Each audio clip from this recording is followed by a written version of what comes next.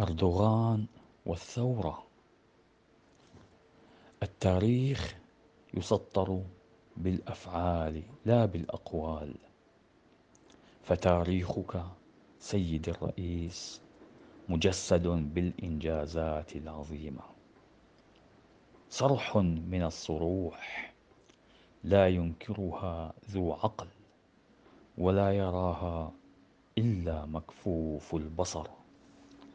أما الآخرون فارغة رؤوسهم إلا من الهواء فأقوال بلا أفعال خاوية ملفاتهم إلا من المجون والأهواء والأحلام الوردية.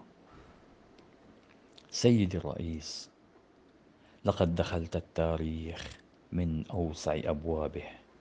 بفضل الله وسطرت ملحمة للإزدهار والتقدم وكنت أول من اقتحم أبواب العضوية لنادي دول العشرين الاقتصادية. وستكمل المسيرة بإذن الله مع العشر الكبار فمن جد وجد ومن سار على الدرب وصل ومن ثم السبع الكبار. فمن خاف الله لن يخاف الآخرين. فبارك الله خطاك وحماك وسدد رميك. أما الآخرون فلا يخافون الله.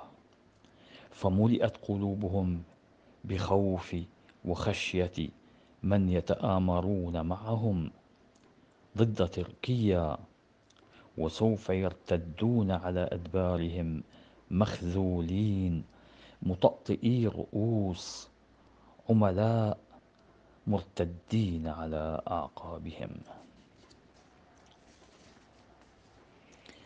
فاللهم ول أمورنا خيارنا ولا تول أمورنا شرارنا.